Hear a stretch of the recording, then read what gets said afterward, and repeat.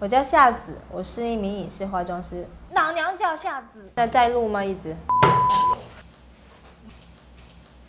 同时也是特效化妆的爱好者。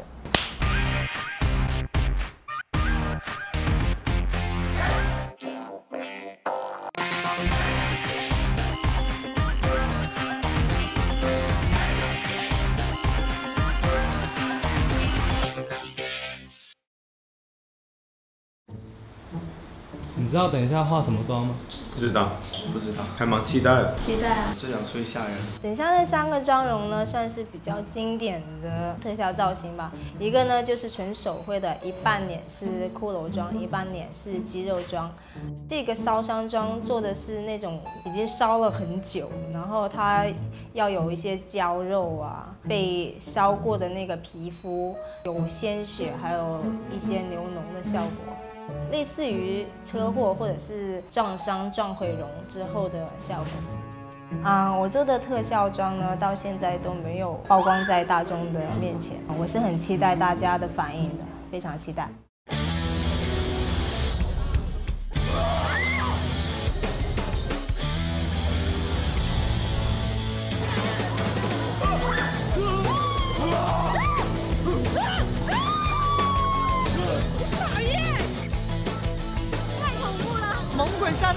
小鬼了！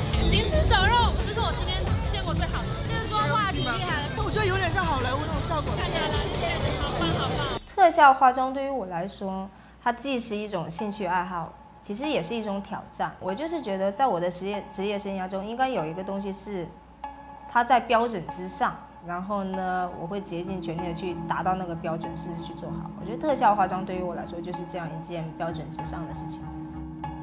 我刚开始想要学习做化妆的时候，我曾被人认为是没有天分的，而对我有偏见最大的一个人就是我的老师。然后他当时是预言我两年都学不会化妆，做做不成一个化妆师。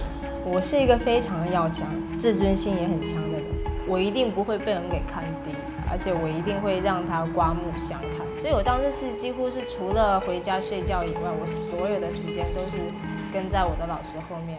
我要么就是自己练习。因为我每天都要给自己不停的化妆，化完妆然后没有化好，我要洗脸又重新化，最后导致我整个脸就皮肤过敏，然后长了很多的痘痘，而且皮肤还非常的干燥，就近乎于毁容的。所以说我就只能在我自己身上画，比如说手上啊、腿上啊这样子，慢慢的去练习。后来我用我的行动证明他错了，我两个月就出师了，成为了独当一面的化妆师。刚入行的时候比较穷，作为一个化妆师，我需要了解更多的品牌，还有更多的嗯产品啊，他们的性质、色号啊之类等等这些。那当时没有钱买这么多的产品回来，那我就想了一个办法，就是去商场的啊彩妆专柜去试不同的系列有多少个色号，我就在那里一个一个的在自己的身上试。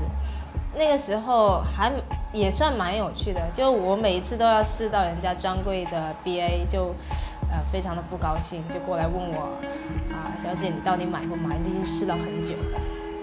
其实我也是很无奈，我的心里在说老娘一定会买的，但我最后也只能跟他说我迟早会买的，然后我就走了。我为了我自己喜欢做的事情。我觉得放下自尊并没有什么了不起。我可以，我是那种可以为了自己喜欢的事情，为了自己的事业不择手段的人。